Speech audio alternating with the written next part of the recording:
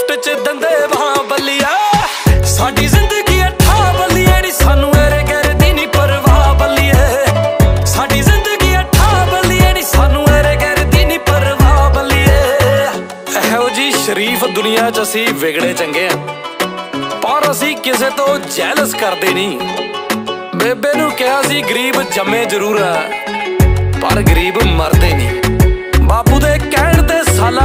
ਸਾਲਾਂ 'ਚ ਵੱਡੀ ਕੋਠੀ ਨਾਲ ਖੜੀ ਗੱਡੀ ਕਰਤੀ ਆ। ਜ਼ਿੰਦਗੀ ਲੰਬੀ ਜੀਨੇ ਦਾ ਕੋਈ ਸ਼ੌਂਕ ਨਹੀਂ ਹਮੇ।